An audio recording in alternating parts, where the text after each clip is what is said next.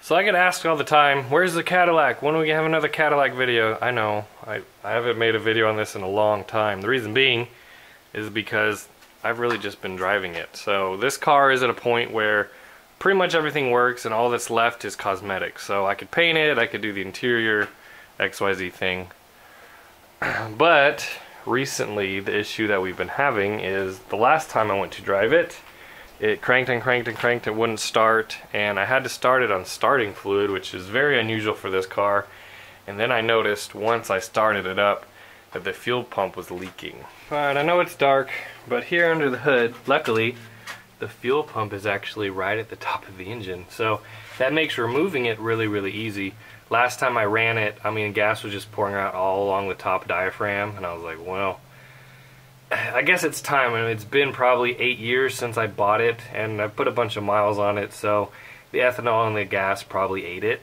Um, another thing I want to do is change out these um, rubber hoses and put a different uh, type fuel filter in it. This fuel filter actually works very well. I'm just scared it's going to leak one day, so I'm going to put a regular uh, metal type in there.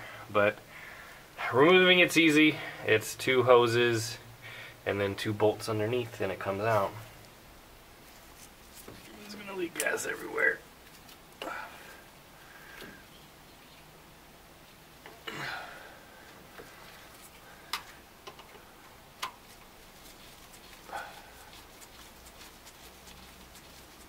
You can kind of see along this edge it's still wet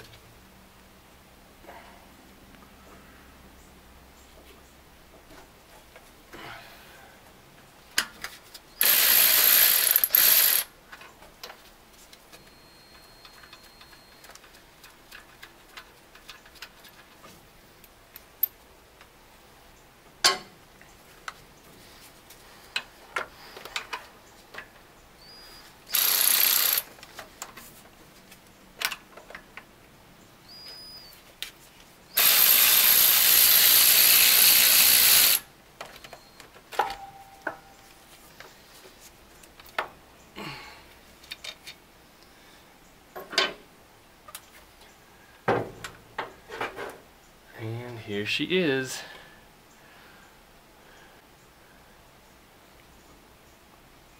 Pretty simple. So here we have the old pump. We have all the new pieces for the kit. I could have bought a new pump. They were like 200 something dollars. This was like 50 bucks. I figured I'll give this a go. It shouldn't be that difficult. There's actually a step-by-step -step in the, the, manual that shows the exploded view um, and then also shows, I guess, step-by-step -step how to take it apart, put it back together.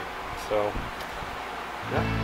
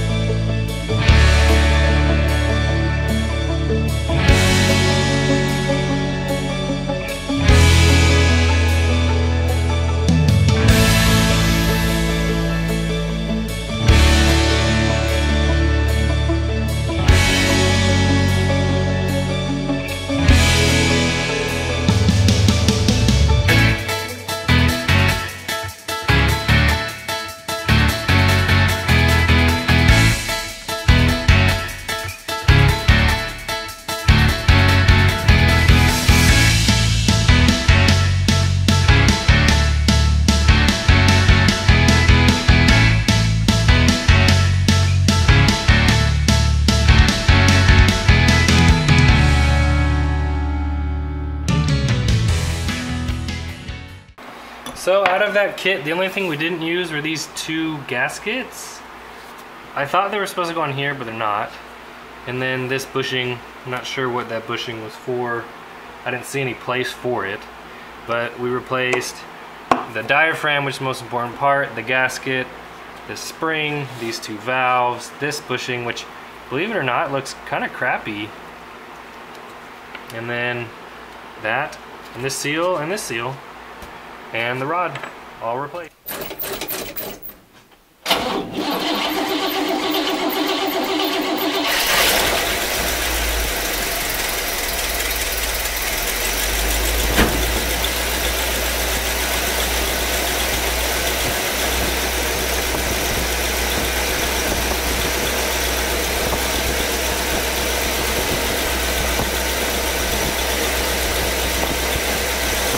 back in business.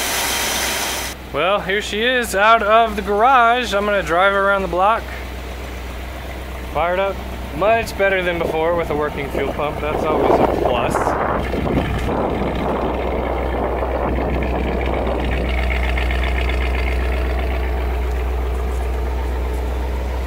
Gonna kind of try to blow the cobwebs out of her. It hasn't been driven in a while.